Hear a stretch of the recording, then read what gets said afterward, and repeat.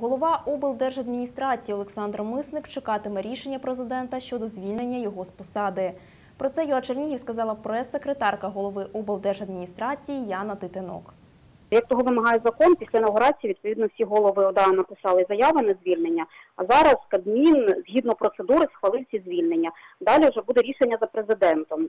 Е, ну і ми чекатимемо його. Ну а поки е, президент не скаже свого слова, Олександр Мисник е, буде працювати е, у якості, ну буде виконувати обов'язки на посаді голови, так і е, забезпечуватиме життєдіяльність Чернігівської області.